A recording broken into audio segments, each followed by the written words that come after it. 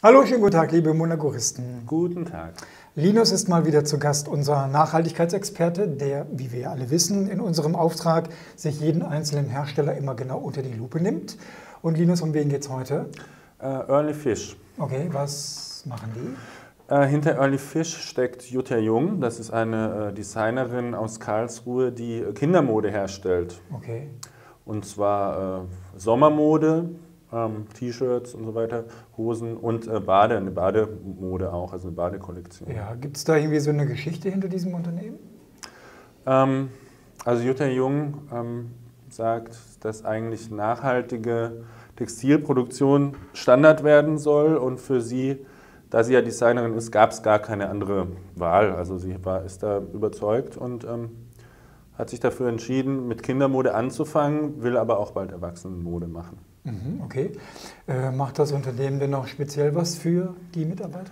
Für ja, die, sie produziert in einer ausgesuchten Manufaktur in der Türkei. Da mhm. lässt sie äh, die, ähm, wie soll ich sagen, die Baumwollmode, die Bio-Baumwollmode äh, herstellen und hat einen Familienbetrieb in Polen gefunden, der die, äh, diese Bademode herstellt. Und ähm, das hat sie nach, nach sozialen Standards ausgesucht und auch nach ökologischen Standards. Also äh, hat sie gesagt, hier in, in, der Türkei in der Manufaktur war auch ganz wichtig, wie, ähm, ja, wie, wie, wie, ob da, dass da eine Kläranlage angeschlossen ist, dass, das, dass halt die Abfallentsorgung auch äh, stimmt. Mhm.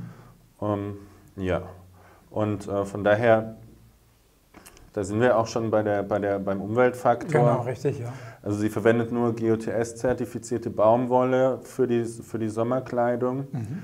ähm, und recycelte Materialien.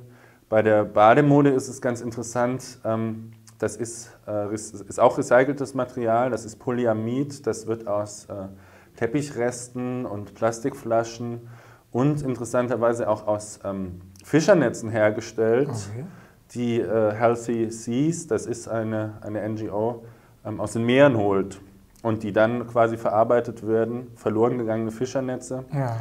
Ähm, diese Bademode ist, hat auch einen UV-Schutz von, von glaub, plus 50. Okay.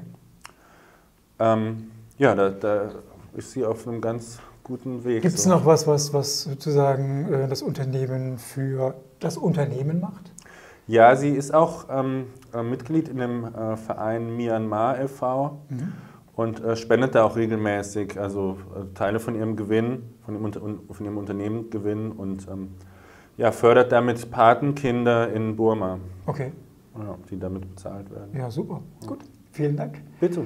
Ja, das war's zur Nachhaltigkeit von Early Fish. Vielen Dank, Linus. Und bis bald. Bis bald. Tschüss.